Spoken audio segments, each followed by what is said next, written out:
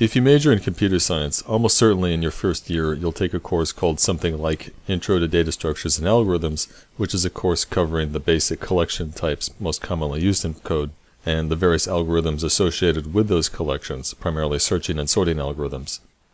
The course also tends to serve as the student's introduction to the formal analysis of algorithms, that is, the student's real introduction to proper computer science. In this unit, we're going to cover at least the uh, essential highlights of such a course, and we'll even take a brief look at formal analysis when we discuss time complexity and what's called Big O notation. Our treatment, though, of these topics are going to be kept quite informal. We're not going to get into any real math, not just because I'm not qualified to teach that sort of thing, but because we're just trying here to hit the broad conceptual highlights. Now we're going to look at algorithms, particularly those associated with arrays and lists, namely algorithms for searching through arrays and lists and also for sorting them. The simplest of these is surely a linear search, a search through a list or array for a particular matching value. In a linear search, we simply start at the beginning and we iterate through every value, comparing those values against what we're looking for until we find a match.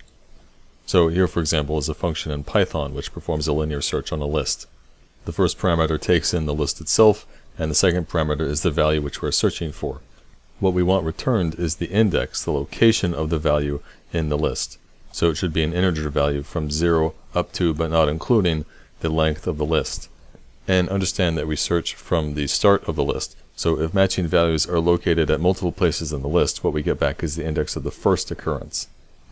In the case where the list contains no such value, when there is no match, we simply return negative 1 as a special value indicating not found. This is a common convention with search functions. Negative 1 indicates that there is no such match. So, looking at the body of our function, our for loop iterates over sequence, which is the range from 0 up to but not including the length of the list. So say if the length of the list is 5, then our loop will go from 0 to 1 to 2 to 3 to 4, and 4 will be the last iteration. In the loop, we simply test whether the value at that index in the list matches the value we're searching for, and if so, we return the index. If our loop is exhausted with no matches found, then we return negative 1. Now, you'll note that there's nothing really clever at all about the linear search algorithm. It performs a search for a particular value in really the most obvious way possible. For this particular problem, though, there really isn't a better solution. There are plenty of more sophisticated search algorithms, but those algorithms don't apply to the general case of having just a big dump of stuff in no particular order. For example, what's called a binary search is a much more efficient kind of search, but you can only use it on lists or arrays where the items are sorted. The gist of the binary search is that we start our search not at the beginning, but actually in the middle. If the value in the middle happens by luck to match what we're searching for, then our search is done. Otherwise, if the value there is greater than what we're searching for, then we know we need to look to its left. Otherwise, if it is less than the value we're searching for, then we need to search to the right. And so with our first comparison, we have effectively eliminated a whole half of the list from consideration. We know the value can't be found there. In the remaining range of the list where the value still might be found, we continue with the same strategy. We look in the middle of that range and we can make a comparison. And if it happens to match the value we're searching for, then we've, we, we're done, we've found the value. Otherwise, we know to either look to its left or its right, depending upon whether the value there is greater than or less than the value we are searching for. So here, for example, we have a sorted list where the first item is negative 7 and the last value is 1881. And notice that all the values are in ascending order. And if we wish to find the value 340 in the list to retrieve the index at which it is located, assuming it is located at all in the list, uh, we start in the middle and we see that the value there, 178, is not equal to 340. It's in fact less than 340. So we know that the value we're searching for is somewhere to the right of that index. So we know now that the value isn't in the range from the first index, index 0, up to and including the index we just compared.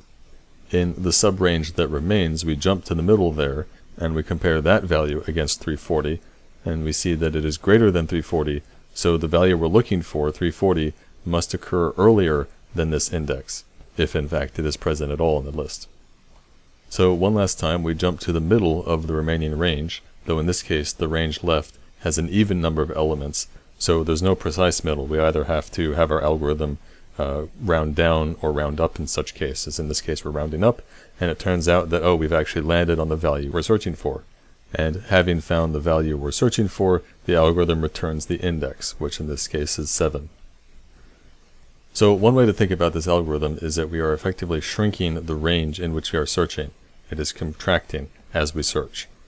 So in our binary search function implementing this algorithm, again we take in two parameters, the list itself and the value we're searching for, and we're going to return the index of the found value, or negative 1 if it's not found at all. And we're going to use two local variables, start index and end index, which denotes the range within the list which we are searching. And of course at the start we're searching the entire list, so we initialize start index to 0 and end index to the last index of the list which is of course 1 less than the length of the list. As long as we have a subrange left to search, the start index will be less than or equal to the end index.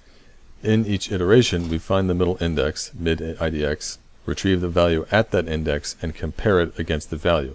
And if it's equal to the value, then we found the index. Mid index is the index we are searching for.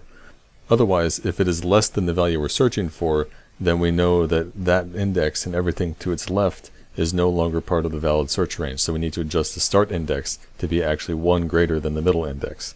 And conversely, if the middle value is actually greater than the value we're searching for, then we know that the value will not be found off to the right. So we adjust the end index, we bring it in to be one less than the middle index.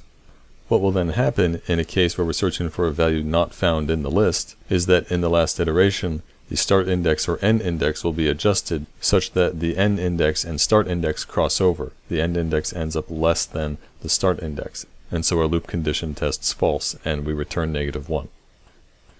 Notice at the line at the top of the loop where we get the mid-index value that we use the int function to round off whatever gets returned from the division by 2. If it happens to be uh, something 0.5, then we want that to be rounded, because of course indexes to a list are always integers, not floating point numbers.